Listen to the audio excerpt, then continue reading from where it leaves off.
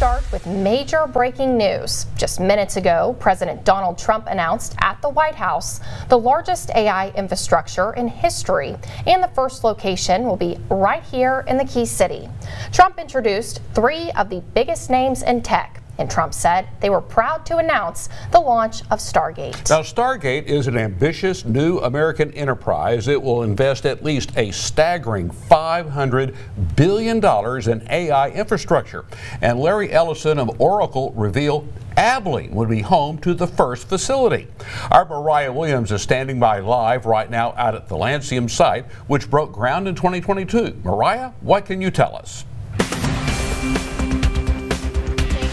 Guys. I am out here, and as you can see behind me, this is a 200 megawatt data center, like you said, that we will be investing at least $500 billion in AI infrastructure, a move that Trump says will bring over 100,000 jobs. Now, it was just three years ago when construction started, and as you can see behind me, it is still continuing. And just last October, Lancium opened its doors to Taylor County officials to give them a look inside of what it's going to look like.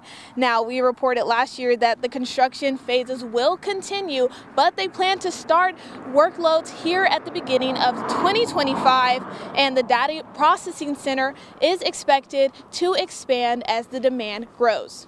Reporting in Abilene, I'm Mariah Williams. Back to y'all in the studio. Thank you, Mariah. For more information, you can visit our website, that's bigcountryhomepage.com.